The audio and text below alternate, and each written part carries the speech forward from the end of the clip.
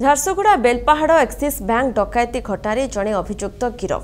ବିହାର ମୁଜାଫରନଗରରୁ ଅଭିଯୁକ୍ତ ନିରଜ ଠାକୁରଙ୍କୁ ଗିରଫ କରିଛି ପୋଲିସ। ଗତ ଚାରି ତାରିଖରେ ବନ୍ଧୁକ ମନରେ ଚଉଦ ଲକ୍ଷ ଟଙ୍କା ଲୁଟି ନେଇଥିଲେ ଦୁର୍ବୃତ୍ତ। ଲୁଟ୍ ପୂର୍ବଦିନ ପାଞ୍ଚ ଜଣ ଲୁଟେରା ଯୋଜନାବଦ୍ଧ ଭାବେ ସୁନ୍ଦରଗଡ଼ର ଏକ ହୋଟେଲରେ ରହିଥିଲେ। ସେମାନଙ୍କ ମଧ୍ୟରୁ ଜଣେ ବେଲପାହାଡ଼ ଆସି ଯୋଜନା ପ୍ରସ୍ତୁତ କରିଥିଲା। ପରେ ଚାରି ତାରିଖରେ ଏକ ନମ୍ବର ବିହୀନ ସ୍କର୍ପିଓରେ ଆସି ଚଉଦ ଲକ୍ଷ ଟଙ୍କା ଲୁଟ୍ କରିଥିଲେ। ଘଟଣାରେ ଜଣେ ଅଭିଯୁକ୍ତ ଧରାପଡ଼ିଥିବା ବେଳେ ଆଉ ପାଞ୍ଚ ଜଣଙ୍କୁ ଖୋଜୁଛି ପୋଲିସ।